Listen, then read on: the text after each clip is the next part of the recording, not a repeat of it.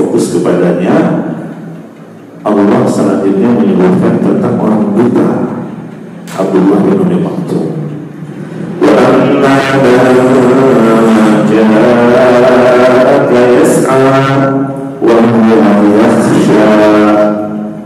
ada orang yang datang kepadamu dengan penuh semangat dan dia bersegera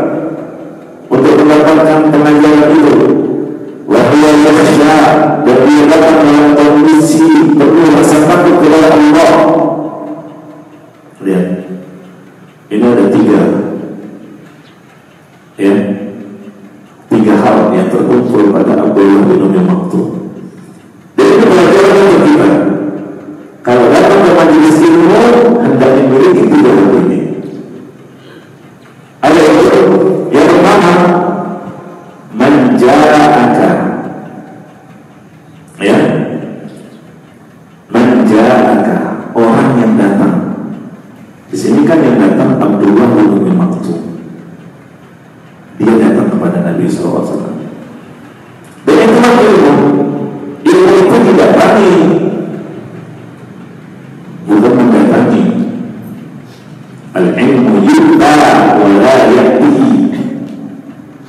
itu didatangi bukan dia mendatangi kamu kamu santai-santai di rumah ya.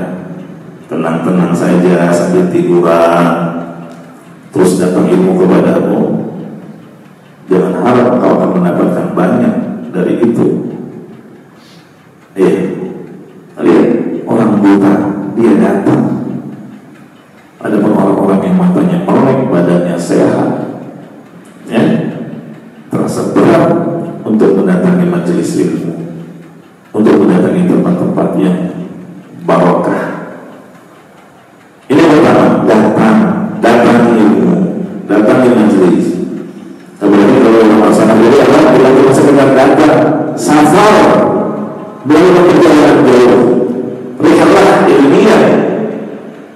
ya kan? Yang kedua yas'a. Dia berusaha dia bersemangat. Dia bersegera ya. Gitu ya. Dan ini juga pelajaran buat kita. Ketika kita hendak mendatangi taklim atau hendak mendatangi suatu ibadah ya atau ibadah ibadah cada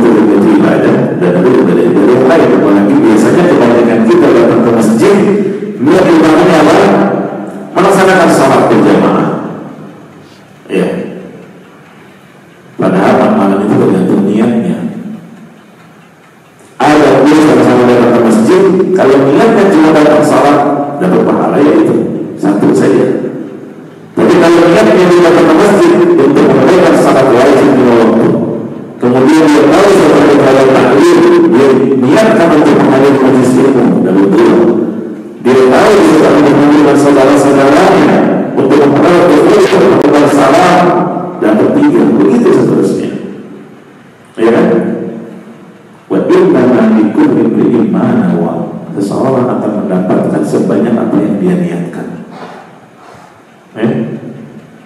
makanya niatkan dari rumah datang bukan sekedar untuk sholat tapi untuk menuntut ilmu menuntut ilmu ibadah yang besar pahalanya eh هذا صراط مستقيم